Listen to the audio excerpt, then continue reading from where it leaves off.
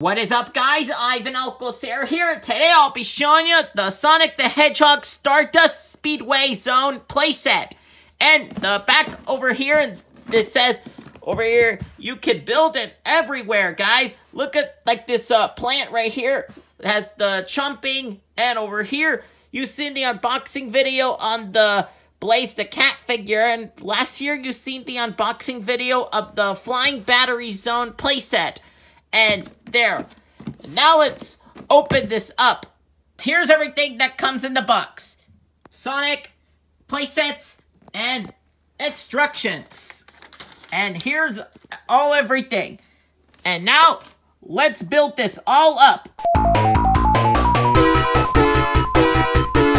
Here's the playset all built up, and these rings here, and then there's Sonic on this spike things, he could swing on this, and then you could put Sonic right over here. Let's put him right here. There we go. He's on that thing. And speaking of that, I have other figures to put on. Like Metal Sonic, he could go right here. And then Amy uh, could go right here. Classic Amy. And then for Classic Knuckles, he can go right over here. So, guys, look at this.